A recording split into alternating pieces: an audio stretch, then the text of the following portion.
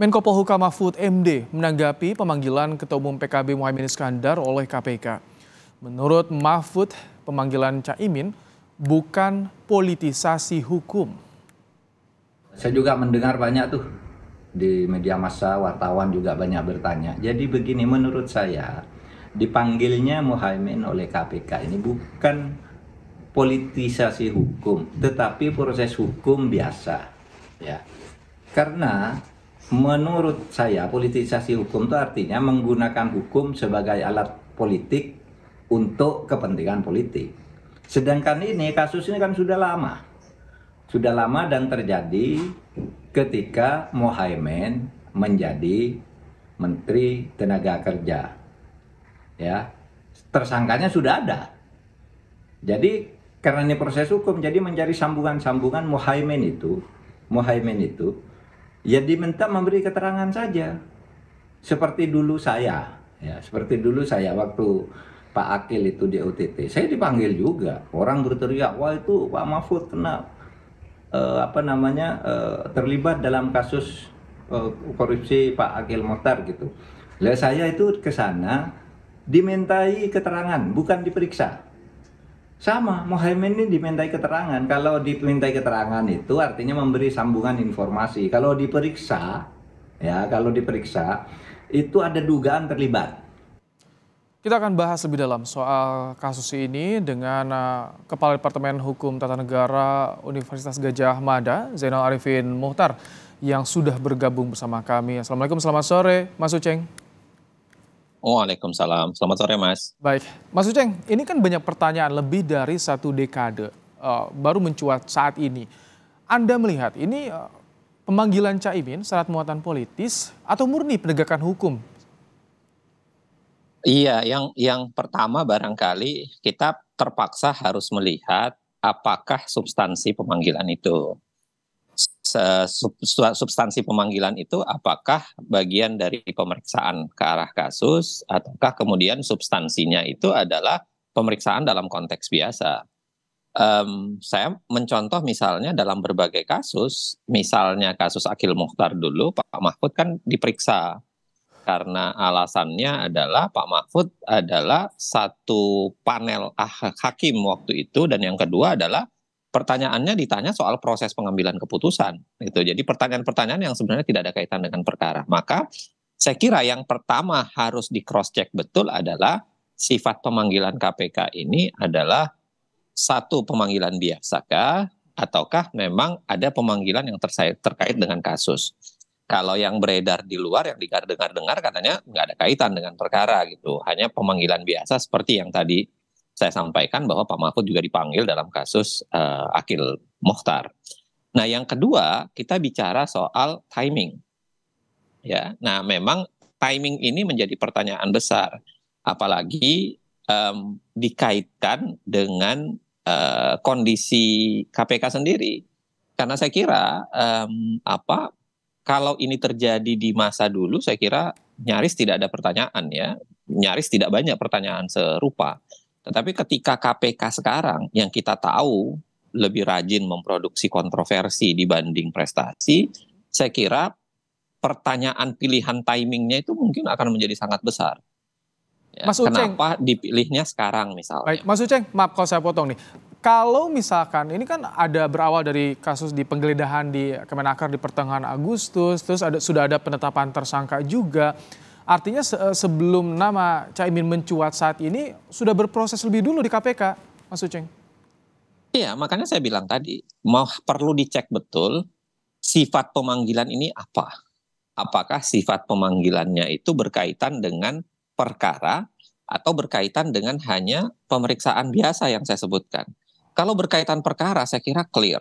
Tidak boleh ada orang yang melakukan korupsi itu dibiarkan saya kira nggak ada, nggak ada masalah, clear.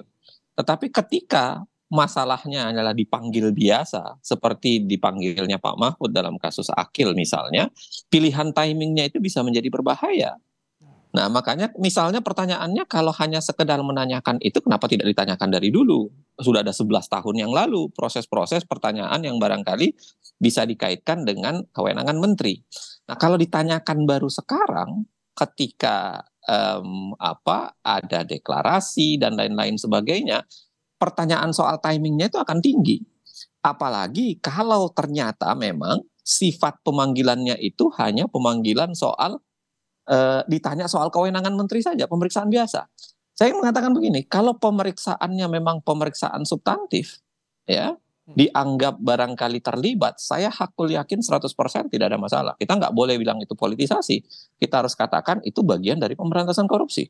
Hmm. Tetapi manakala dipanggil 11 tahun kemudian dan itu dikaitkan hanya pemanggilan biasa, nanya-nanya ya. Seperti yang saya bilang tadi ya, Pak yeah. Mahfud ditanya begitu di dalam proses Pak Akil. Nah, itu menjadi pertanyaan, kok pilihan konteksnya dilakukan 11 tahun setelah perkara itu ada? Kok dilakukan misalnya hanya sesaat setelah dilakukannya deklarasi. Jadi nah, apa yang harus dijelaskan itu, oleh KPK, Mas Uceng, kalau misalkan ada kekhawatiran ini syarat dengan muatan politisasi dengan tengah waktu yang begitu lama menurut Anda tadi? Maka yang paling pertama menurut saya sulit. Kenapa sulit bagi KPK? Ini menjadi serba salah buat KPK nah, karena kontroversi KPK sendiri, kualitas KPK sendiri saya kira sepanjang KPK masih berpre, ber, berprestasi yang sama ya, lebih rajin kontroversi dibanding prestasi, pertanyaan begini akan menjadi langganan, gitu ya. Pertanyaan begini akan selalu terulang, siapa pun dipanggil. Bahkan ketika Joni Plate, pertanyaannya juga selalu sama gitu ya. Apakah ini bagian dari proses uh, men menjinakkan Nasdem atau bukan? Nah, yang kedua tapi yang lebih penting adalah segera diperjelas kasusnya ini apakah kasusnya ini sekedar sekedar pemanggilan biasa ataukah memang berkaitan dengan perkara. Kalau berkaitan dengan perkara, clear saya kira ya. Kita harus mendukung upaya pemberantasan korupsi. Bahwa barangkali bisa jadi ada motif politik di belakangnya, ya silahkan. Itu urusan uh, suasana batinnya KPK.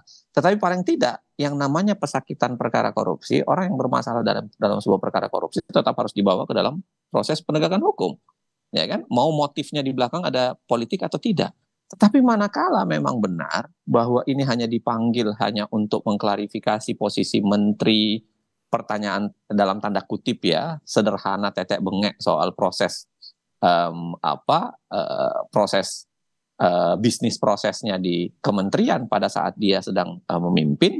Nah, itu bisa malah sebaliknya, itu malah bisa menjadi pertanyaan besar kok dipilihnya sekarang gitu. Nah, Kenapa diambil waktu 11 tahun? Nah, terus ini yang yang menarik juga Caimin minta diundur ke tanggal 7, tapi KPK penyidiknya tidak bisa dan dipindahkan ke pekan depan. Artinya ini bisa menambah panjang polemik yang terjadi juga Mas Uceng menurut Anda?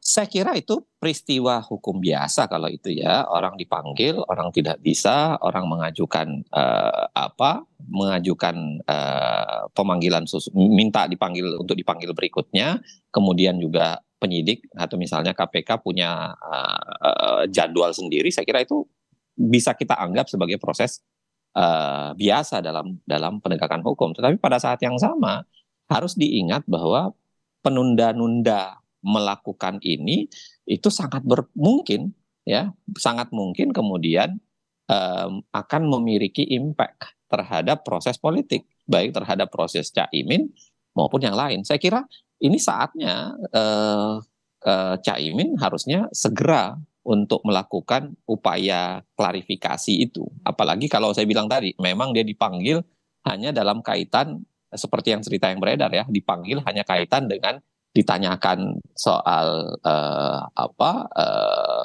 uh, peran apa yang dilakukan di kementerian soal-soal tete bengek yang tidak ada kaitannya dengan perkara.